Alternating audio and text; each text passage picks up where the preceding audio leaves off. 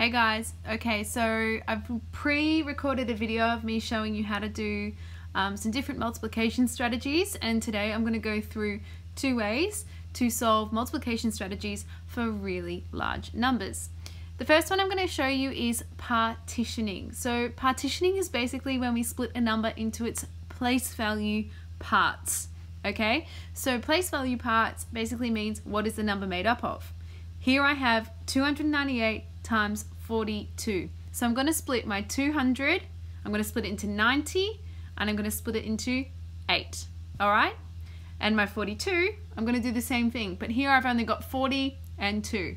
And I'll show you how to arrange this in what I call um, a hashtag maths sort of um, strategy. So you draw yourself a little hashtag and it looks like this, depending on how many numbers you've got, but it'll make sense in a second.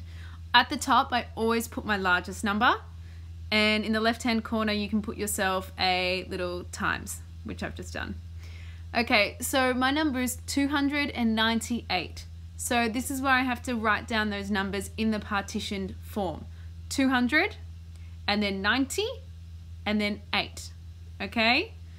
So on the down the other side, I'm going to have 40 and 2. I'm just going to pause it for a second just so that we can catch up. Now, this is how I want you to organize uh, basically large sums with this partitioning strategy and I'm going to talk you through how to fill in each box because they correspond to each other. So basically that means that the answer will go inside this box for 240. So they match up, okay? I'm just going to get rid of that so it's not on my thing. All right, let's keep going. Okay, so um, I can see that I'm underlining 2 and 4.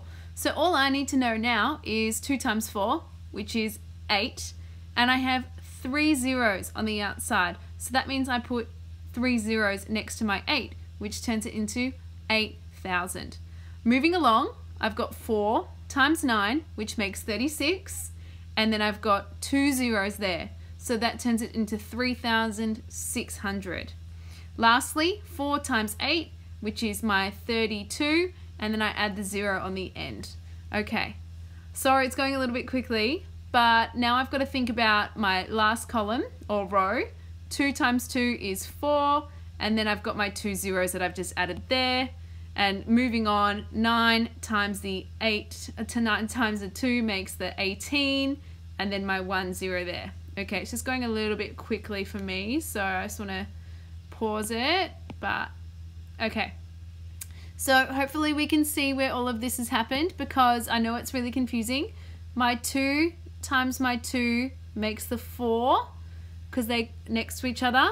And then I have the zeros added on at the end. Okay? Same thing here. 2 times the 9 makes the 18.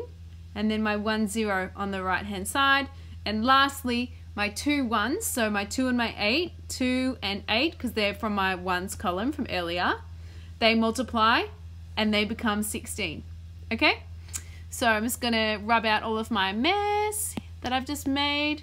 Now you're probably wondering what on earth we do with all of these numbers in the boxes now, but I'm about to show you and it will make a bit more sense.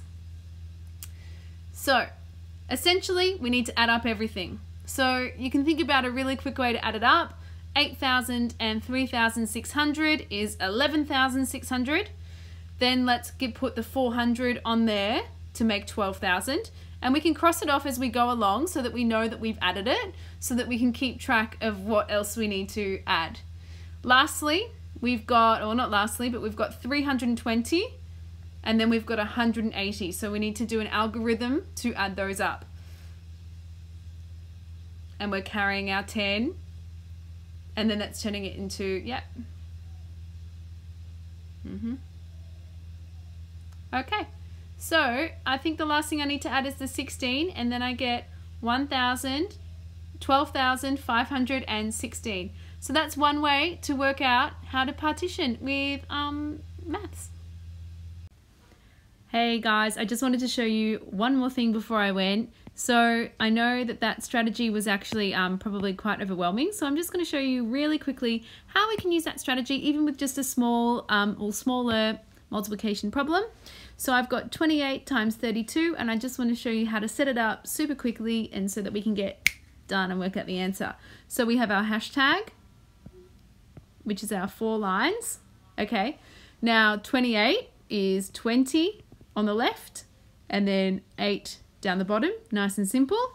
And then my 30 and then my 2. And in the left hand side I can do my multiplication symbol so I know that that's what I'm doing. Now first things first, what is 2 times 3? That is 6.